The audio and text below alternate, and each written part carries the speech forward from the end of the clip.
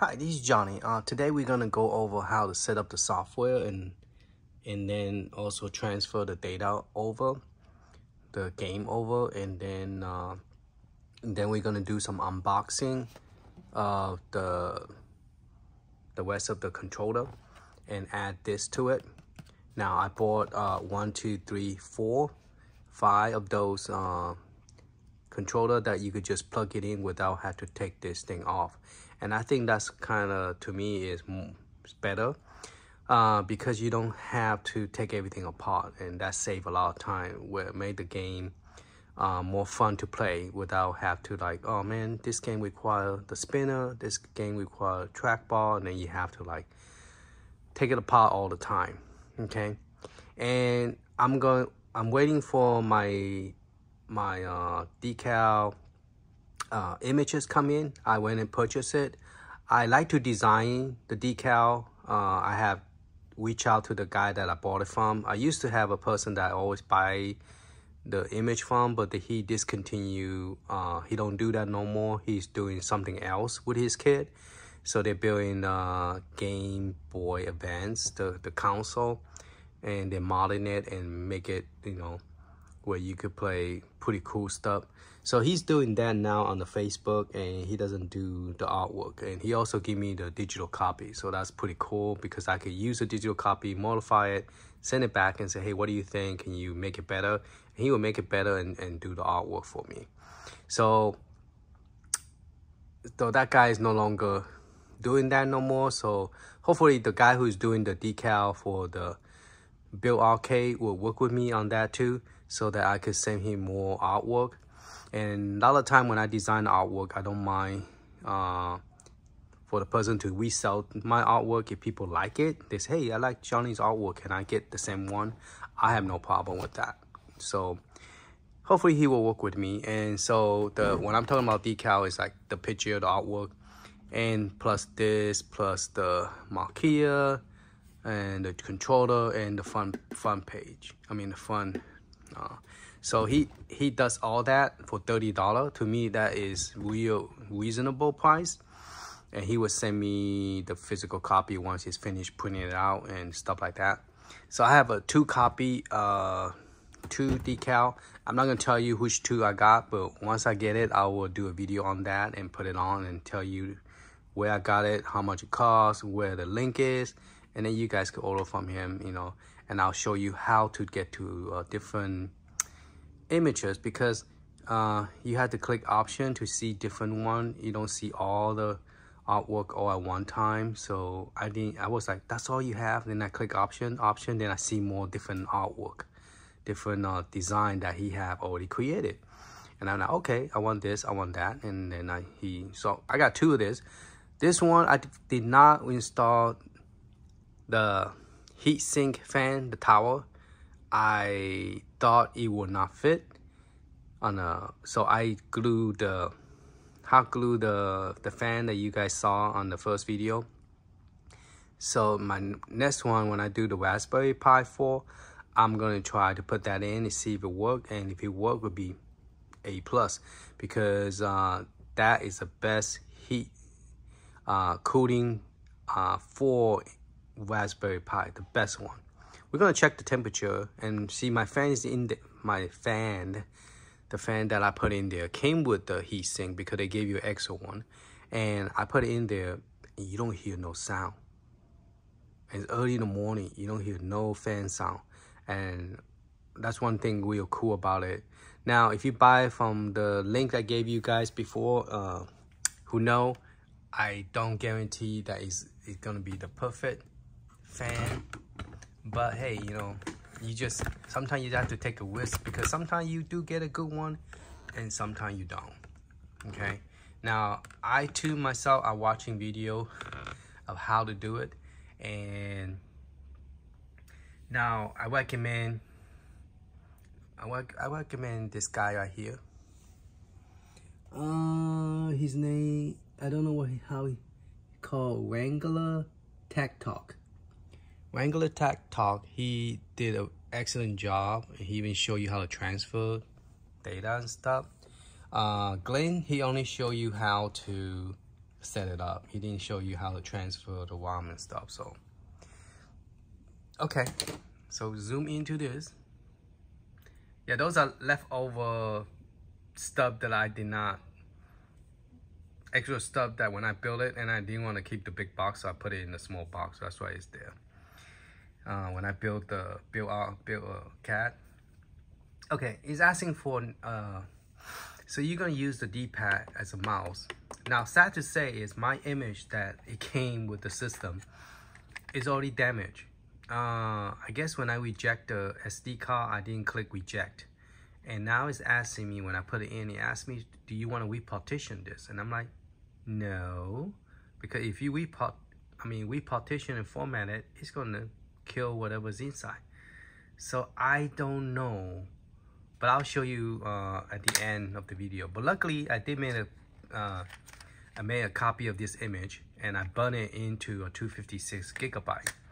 So hopefully we could resize it and make so you will see all the space and then we could just copy the ROM directly to the SD card without have to plug, plug in the flash drive. All right, so we're gonna click enter on the keyboard and it automatically find my Wi-Fi. I was hoping that it would use a direct network connection, then I don't have to, uh, you know, because if it's not direct connected, it sometime will, oh crap, this button doesn't, probably I should have pressed A, huh? Alright, there you go.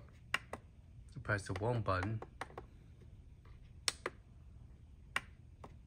Press it again, I guess.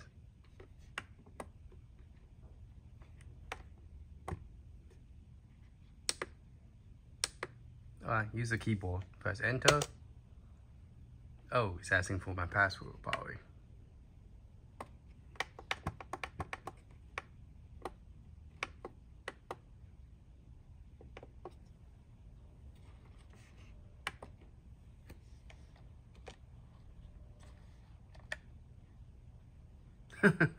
this is taking longer than I expected. All right, there you go.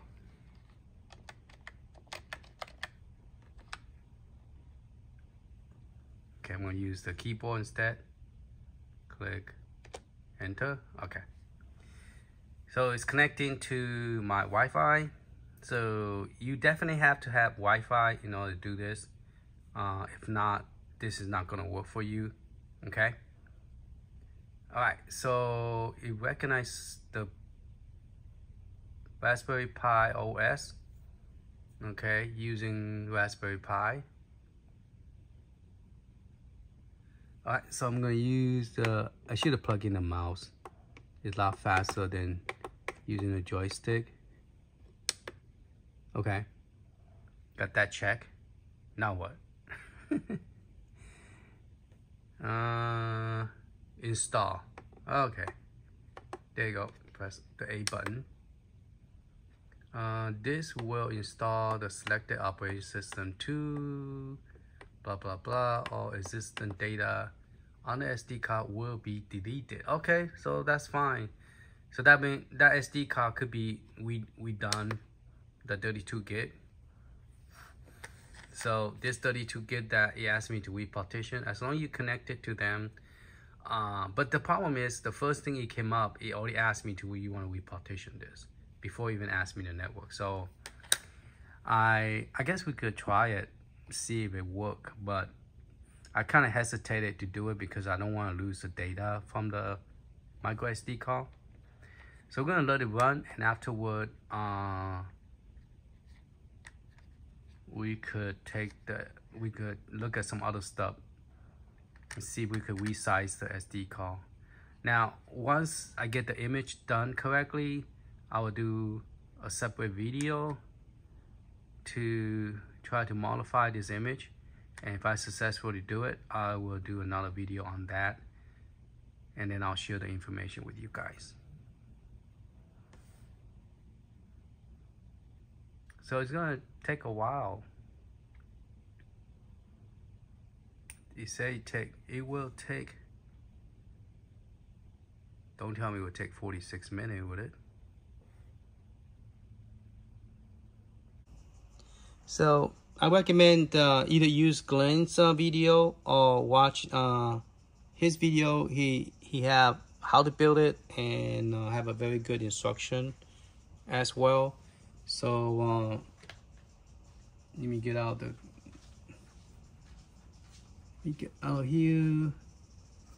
And the person would be oops. So the person would be called uh, Wrangler Tech Talk. And he he does a very good job uh, explaining how to transfer file and stuff okay and then you will also have to transfer the BIOS stuff. He put everything on a USB flash drive and then plug into the back.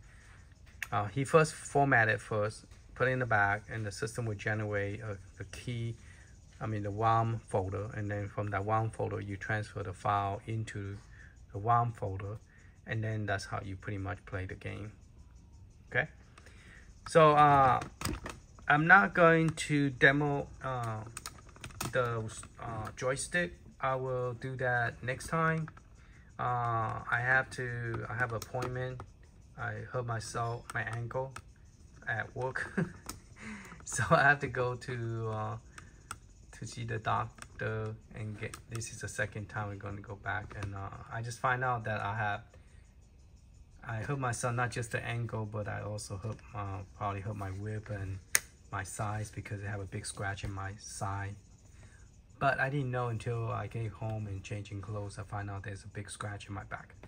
So anyway, I will be uh, doing this video later on. But yeah, once I get everything set up, uh, I'm still playing around, trying to learn how to how to get every, how to figure out how to play this. But I do notice that the heat on this system is not very good. I compare it with my other Raspberry Pi 3 and uh, this one's not very good. Uh, for example, I'm gonna go ahead and press F4 on the keyboard, okay? And that'll take me outside the system. And I just barely turn this thing on. I let it run the setup, installation, everything. And it is showing uh, uh, temperature 159 uh, Fahrenheit and 159 is is hot. Uh, normally when I look at here I normally see like uh, 26 or you know Celsius. Uh, I'm used to seeing that as a Celsius but at least this Celsius is not getting any higher than 71 76 i think i saw it 76 when i was playing the game. But uh but the fahrenheit it went up to 167 so i don't remember how high is the fahrenheit but i know celsius if you go any higher than 80 85 the system will shut down. But it went up to 76 so it's pretty close that it does get pretty hot. So I might do a tear down and I put that other heatsink, this one, because I realized it does have space to put this one in. So I'm going to take the other fan that I hot glue it, this uh, un, un hot glue it, and then put this in because I believe it will fit. I'm going to try it, okay? If it does fit, I will, if it does fit inside, I will do an update video, I'll show you that it does work and then uh, we could test temperature again because uh, I don't like the temperature being that high because that means the system uh, after maybe two three hour playing it it will have the game might have glitches and problem. Just FYI because uh, I have been uh, noticed that that's part of the reason I don't buy game system that come with Raspberry Pi because a lot of time people overlook about the the heat sink and the Raspberry Pi does get hot and uh, so just FYI just based on experience just so you know that you have to cool that thing down in order to play a good experience with Raspberry Pi that's pretty much it uh, I will do once I get everything set up and all this put together, it will be more fun just plug and play. Like this one is already set up. I just plug and play. I'll show you how to do one of this, uh, how I put it in. I think I did a video on how to put this together. But uh, we could plug it in and then start having fun once I get all the all the ROM that is virtual is vertical screen because this is this screen is is 4.3 and is you have more fun if you're playing vertical game than you do with horizontal game because the screen would be pretty short pretty small. All right thank you for your watching. Hopefully that you this will help uh, let you understand how to install the software. I bought two of them and I'll be getting another decal uh, two decal that's coming in. Once they come in I'll also do a video on how to put the decal on to the system. And uh, yeah game on. I enjoy Retro's uh, new system. And I love especially I love the fact that he built this so you don't have to take that apart and just plug it in and, and, and plug and play. So that's pretty cool. And uh, if anybody know where to buy that little click thing so that I could move my screen up 45 degrees. So because if you look straight down this is what you're seeing on the table. You're not able to see the full screen. So Glenn mentioned on his video but I don't see the link. So if those of you who know let me know and I wanted it tilted a little bit like 45 degrees so I could actually have fun playing with it without not able to see the full screen. All right thank you. Later